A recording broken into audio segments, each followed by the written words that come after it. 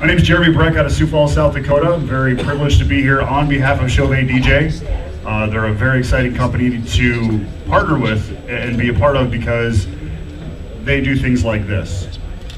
They create innovation for our industry. They make what I do as a lighting designer better, more efficient. Um, so it's a privilege for me to be here uh, to do these type of workshops or these seminars. You're not leaving already, are you? I'll be right back. Oh, okay. I didn't think I was that bad yet. Um, so a couple things actually. I, I want to kind of you know scan the crowd and find out a little bit more. Um, takeaways from this uh, from this convention. What what have you guys saw that you really enjoyed so far? Uh, a lot of new products, a lot of new innovation, uh, you know, did different things that uh, basically improve, uh, improve performance and uh, bring more body to the Okay. Well, this being our first year here, I, I enjoyed all the seminars. Okay. I learned a lot. Sure. And where you where are you out of? California. California. Okay, great. Thanks for joining us here in Las Vegas. You guys probably came to a colder location. We came to a much warmer location where we're, where we're out of. So, any takeaways? What what you what you think so far, or uh, the, the convention? Tell us. Uh, it's been a great network. Learned a lot in the halls. Awesome. Yeah. Nick, Nick Wall. I put my phone on silence. If you guys can put your phones on, on silence as well, that would be great. Uh, we'll come back to Nick. Um, takeaway can, uh, of the conference?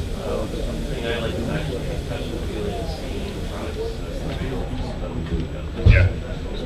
And what uh, what products have you saw that, that really have, have been uh, nuggets for you? Yeah.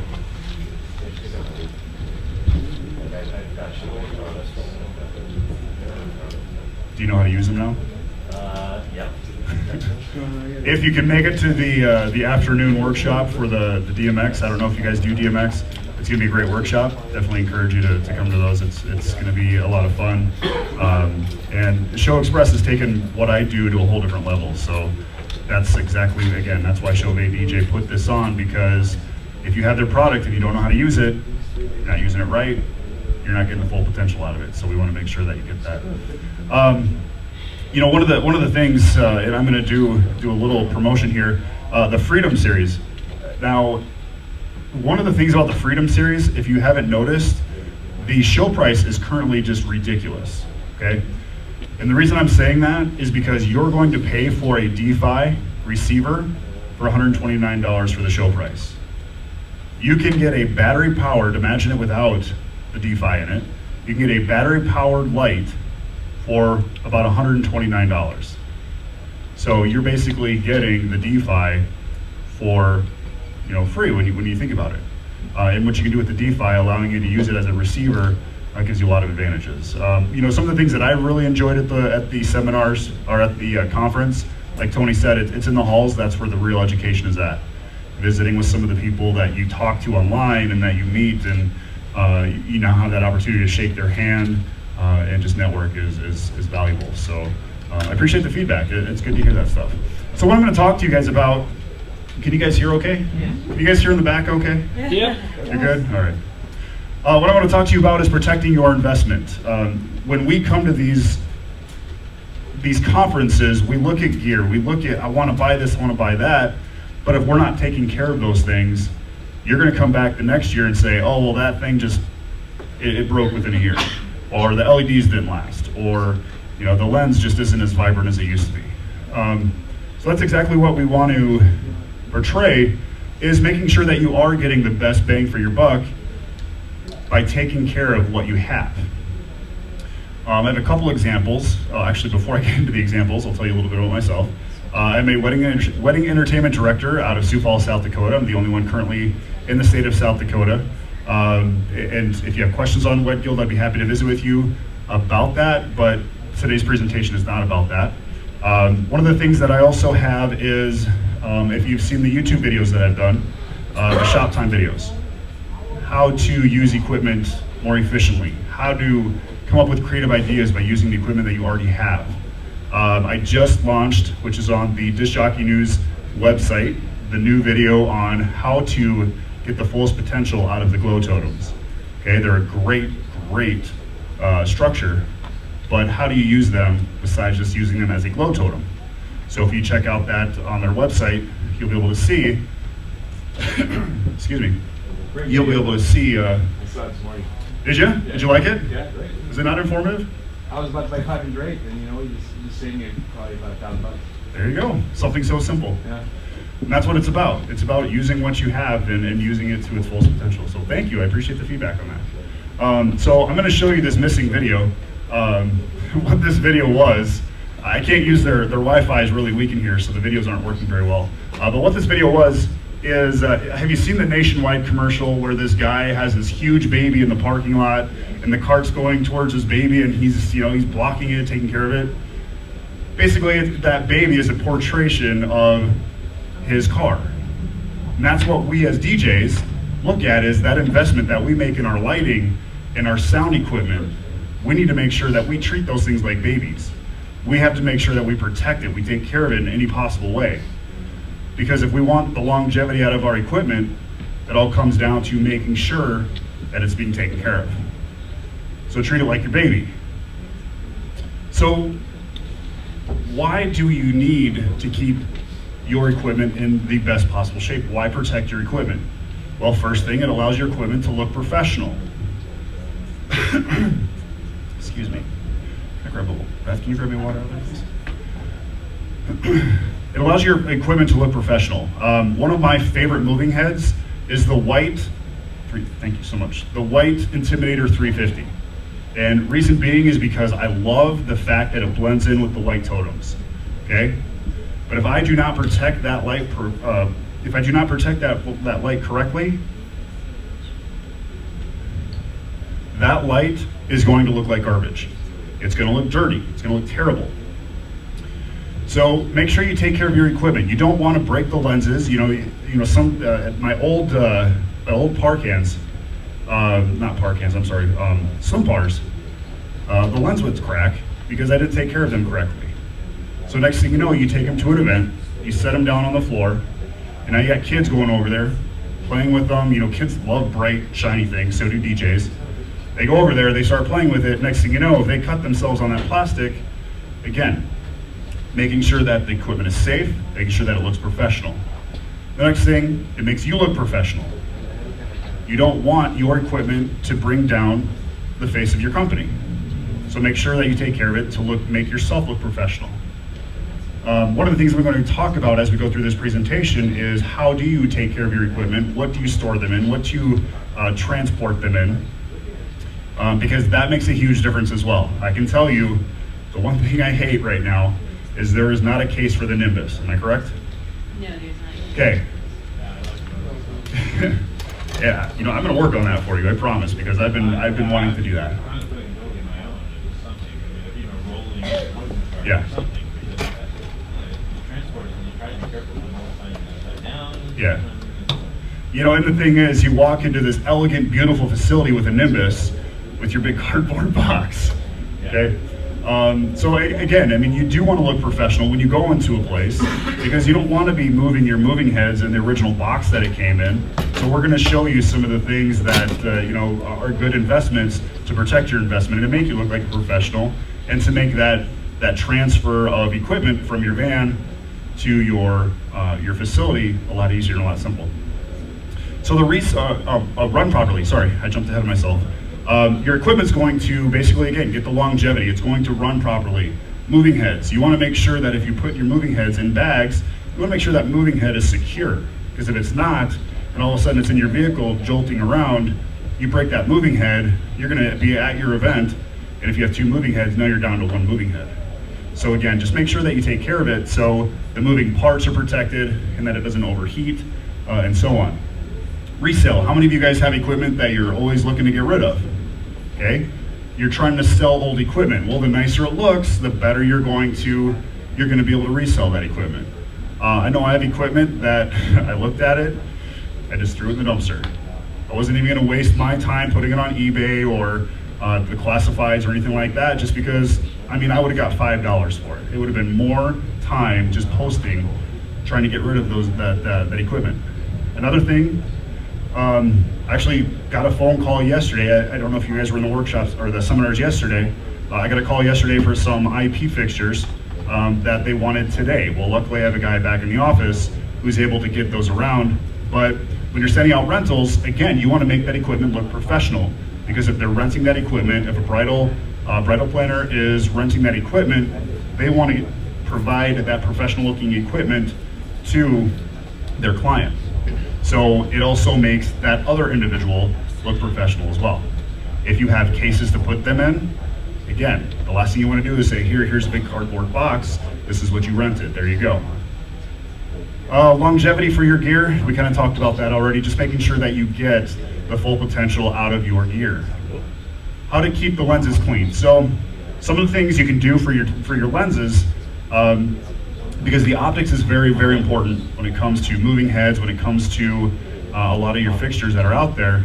Um, you can use dry compressed air, uh, use mild soap solutions, ammonia-free glass cleaner, and the reason you want to use ammonia-free is because if you use anything with an, an ammonia base, it will put smears on there, and it will start deteriorating your lens. So, or not deteriorating, but it'll start clouding up your lens. So make sure you use an ammonia-free uh, rubbing alcohol, and then also a lens static-free cloth. Um, you can actually get the lens static-free cloths.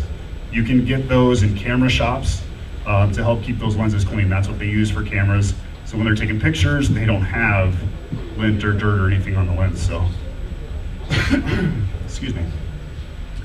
So keep those things in mind. Um, how to keep moving parts clean. Do not use air in a can because air in a can has moisture in it. The last thing you want to do is you, you do not want to put moisture inside of uh, your moving parts because now you're basically creating that rust factor. Okay, you're going to cause or, um, corrosion. Uh, don't use paper towels because now you're putting lint, you're putting uh, paper material in those moving parts. If you have gears, it can bind up your gears, it can cause problems, and will break down your equipment. Use proper storage and use proper cases.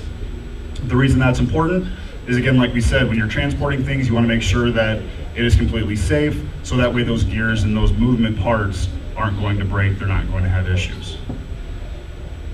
Keep your fixtures up to par, keeping your fixtures white, keeping your white fixtures white. And that's one thing that we talked about. By keeping them in cases, it'll keep them from getting dirty. Um, one thing I would recommend is maybe taking some type of cleaning solution just to kind of keep them clean when you get to an event. Um, you don't have to do it every single event. I'm going to guarantee every single event that you do, you're not going to have to clean it, but it's nice to have that cleaning solution so that way you have the capabilities to clean it if you need to.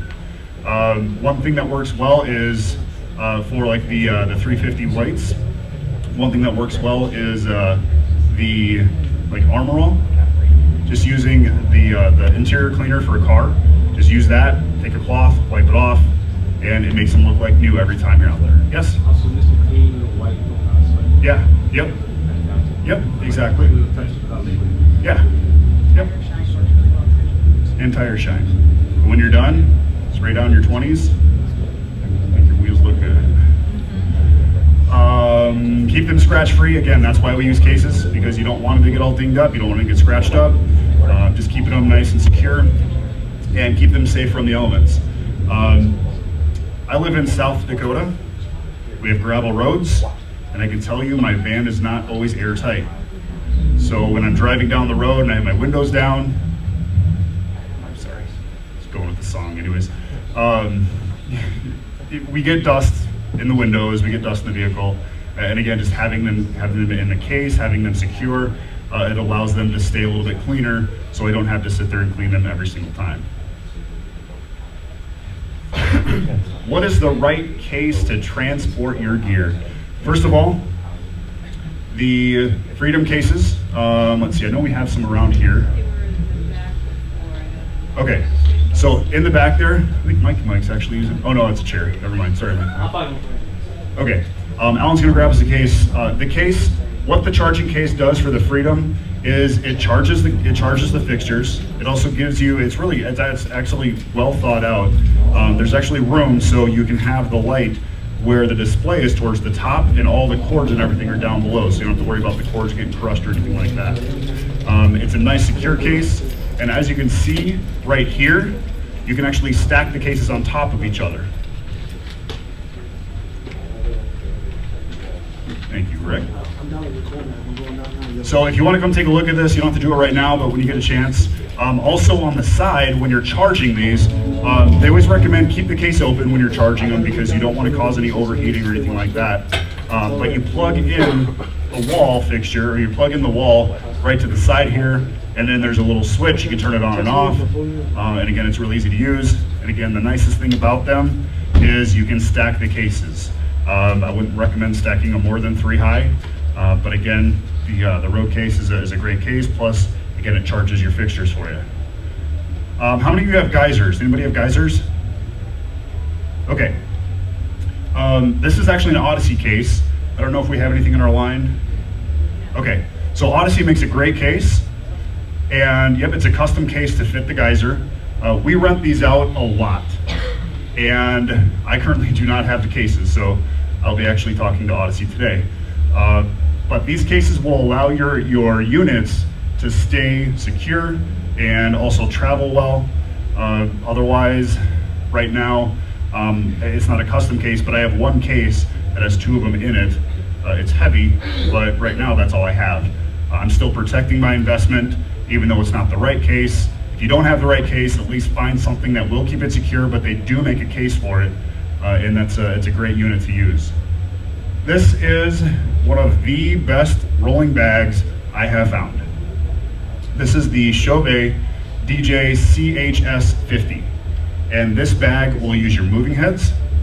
It will fit, I'm not gonna say all moving heads, it will fit most moving heads.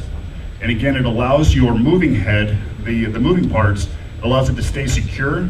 Um, and I'm not gonna lie, I have the competitor, I'm not gonna name drop it, but I have the competitor bag, I actually did a video on it and compared the two. The zippers are amazing on this. The wheels, my other ones that I had, as soon as I pulled, and Matt will agree, Matt has my old ones. Um, as soon as you pull this handle out, there's a couple issues that we have. This right here always seems to get locked, so you can only pull the handle up about halfway. This one is a full telescoping, so you don't have any of the issues or any binding or anything. So this is a great handle. It's got side compartments here for all your cables. It's got a front bag, um, zipper bag right here. And then the fixture, you actually just open it up right here. That whole front panel lays down. You put your fixture in there, zip it back up, and it also has foam padding that's Velcro to the side to again protect that investment. The other issue I had with one of the other bags was there's actually just really small grommets. Um, no, rivets, I'm sorry, really small rivets. And as soon as you, as soon as that bag moves across the ground, that front bar just snip, snaps right off. So this is a bag that I swear by. This is an amazing bag. Uh, if you have any moving heads, any large fixtures, this is this is the bag that you need to get. The show special is amazing, and it's worth it. If you're going to spend almost seven, eight hundred dollars on your on your moving head, why would you not spend another fifty-eight? I think it's it's a great price on these bags. The other thing, one of my favorites this year, the EZpins. The EZpins come with. Can I get that back? Alan, thank you, Alan. Um, the EZpins come with an amazing six-piece bag, and it allows you to carry that entire set. There's a charger inside the bag. So you plug all six of them in, you plug the IEC cord in there, and then the indicator shows you red if it's not charged, green if it's fully charged. Uh, I'm not going to talk too much on the product because we talked a, a little bit about those already uh, throughout this week. If you have questions on them, I'll be happy to answer them for you after this. Um, but the case itself, it's got a nice padded case to protect the gear, and it has two handles. You throw everything in there, and you head to your gig. Uh, these are they're a great product. To me, this is the best investment that you will make in 2014. Um, it's a great case. It has your uh, your controller, your remote right here, which allows you to dim. That allows you to turn them on and off. And then also this will hold all of the gels that come with each light as well. So again, well done product.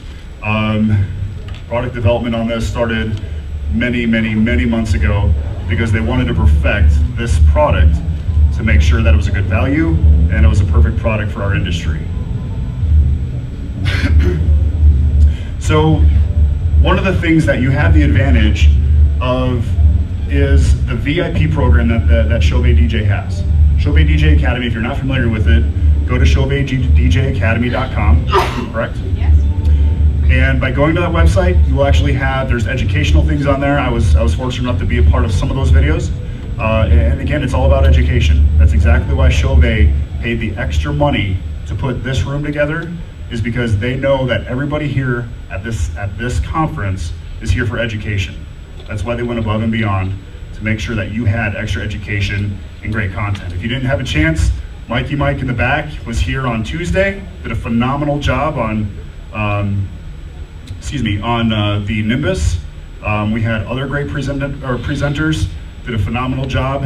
And again, uh, a big shout out to uh, DJ, Beth and her team. They did a phenomenal job putting all this together. And I hope you guys took advantage of it.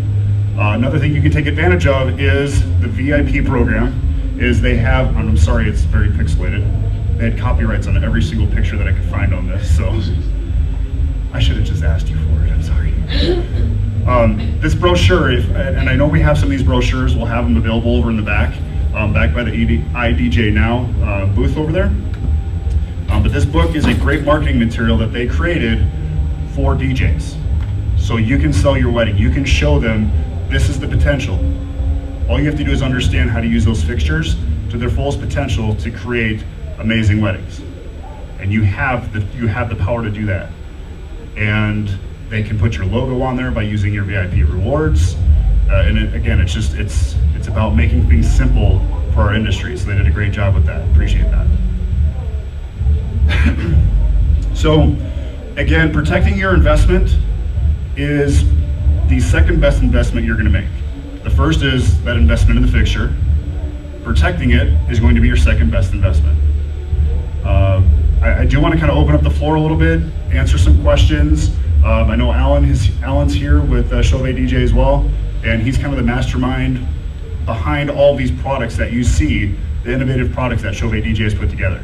So we want to answer questions for you. Um, if you're looking for what kind of case should they use for this, exactly what we're here for. We want to make sure that your investment that you make is going to last as long as it possibly can. Um, I know some of the the Rain 56 uh, Chauvet, uh, Chauvet Rain 56 cans. It was their first, one of their first LED cans that came out, and we still have 60 of them because they stand, they stand the test of time. Uh, and, and again, we want to make sure that you guys protect your investments that you guys that you guys get. So, questions? Anybody? Can I answer your questions? Yeah.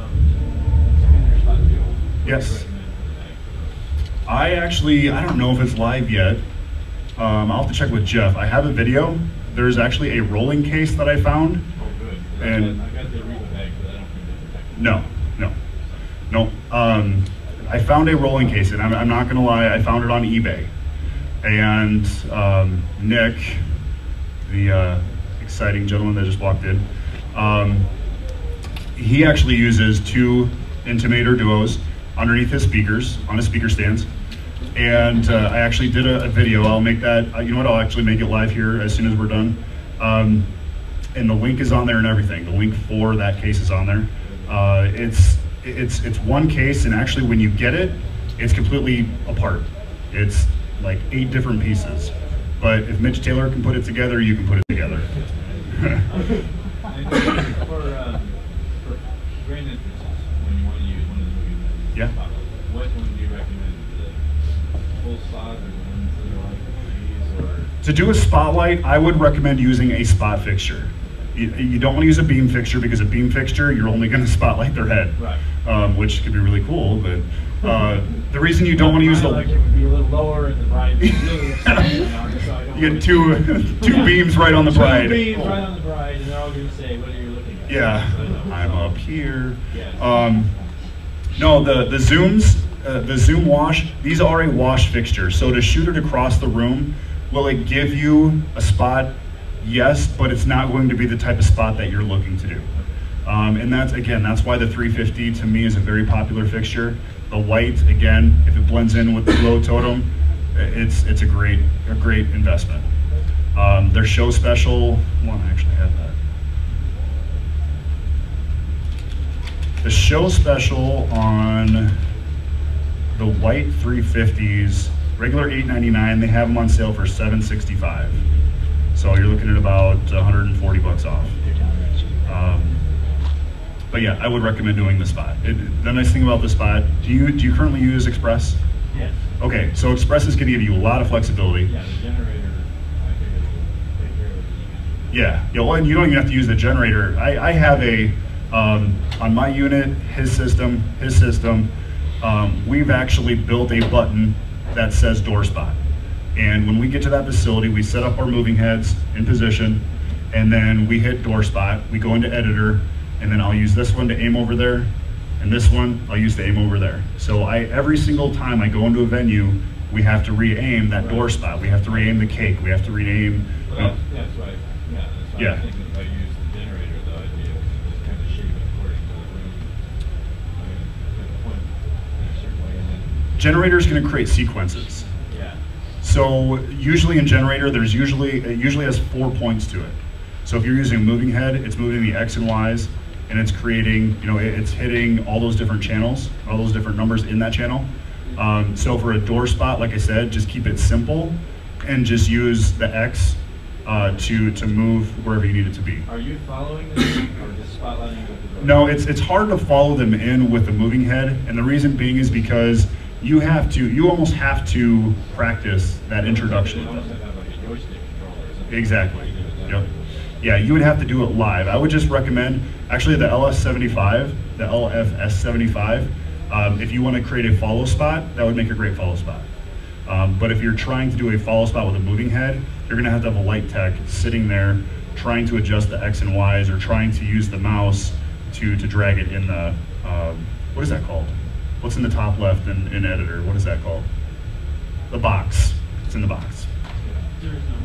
Yeah, there is no name for it. The top left box. I understand. Okay. Thank you. Yeah. Other questions? I got more, but I'll let everybody else first. Go ahead. Um, for the, the, uh, the Nimbus, if I might visit, uh, Mhm. so great with the lighting, what kind of lighting do you want? You want me to- Mike? Yeah, I'll have Mike come up here. Well, you do just about two, right?